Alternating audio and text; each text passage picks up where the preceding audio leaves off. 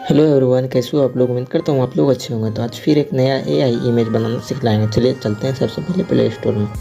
Play store में जैसे जाएँगे, यहाँ से डाउनलोड कर लेंगे बिंग जैसा कि देख सकते हैं मेरा यहाँ पे पहले से ही डाउनलोड किया हुआ है, यानी इंस्टॉल किया हुआ है। हम इसको कर लेते हैं ओपन ओपन करने के बाद आपको रजिस्टर हो जाना है। मेरा यहाँ पर पहले से ही रजिस्टर किया हुआ है। और यहाँ पे जैसे ही थोड़ा ऊपर करेंगे, यहाँ पे create image create image from word with a इसका ऑप्शन आ रहा है। फ़र्स्ट वाले पे क्लिक करेंगे।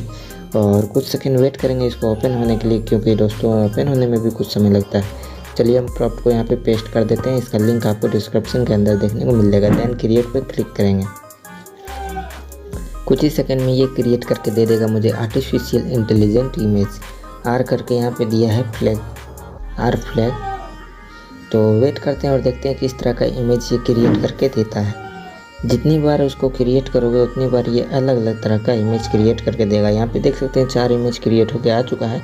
फ़र्स्ट वाले पे क्लिक करेंगे और इसको हम डाउनलोड कर लेंगे ओके फ़र्स्ट वाले पे क्लिक किया, कुछ सेकंड लगता है इसको ओपन होने में। थ्री डॉट पे क्लिक करेंगे, यहाँ से डाउनलोड कर लेंगे, फिर स्लाइड करेंगे। थ्री डॉट पे क्लिक करेंगे, फिर इसको डाउनलोड कर लेंगे। इस तरह कर करके चारों इमेजेस को हम डाउनलोड कर लेंगे ओके और यहाँ पे कट करेंगे, जो भी आपका नाम है, वो अपना नाम आप देखें, आप कर सकते हो। चलिए हम क्रिएट कर देते हैं फिर से ये देखें और देखते हैं किस तरह का इमेज ये क्रिएट करके देता है।